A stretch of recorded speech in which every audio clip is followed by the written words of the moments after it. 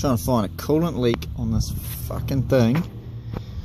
So I've got my gauge, focus, and uh, my bike pump.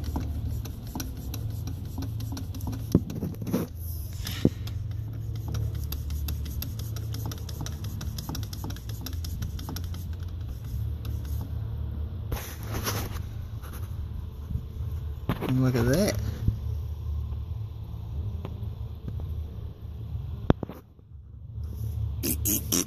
Leaky, leaky. It's at 20 psi. Also looks like it's fucking leaking out of here. Well, that's no good.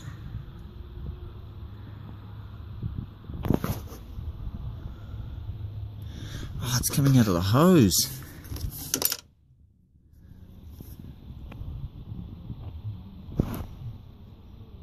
I got about 18 psi.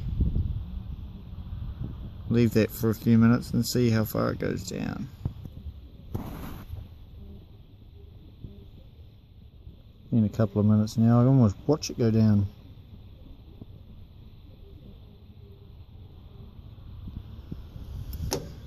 But we're dribbling.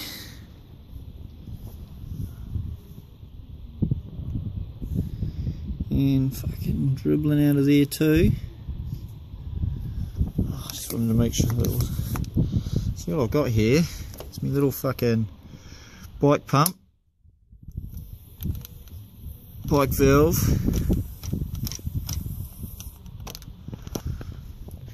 tyre valve,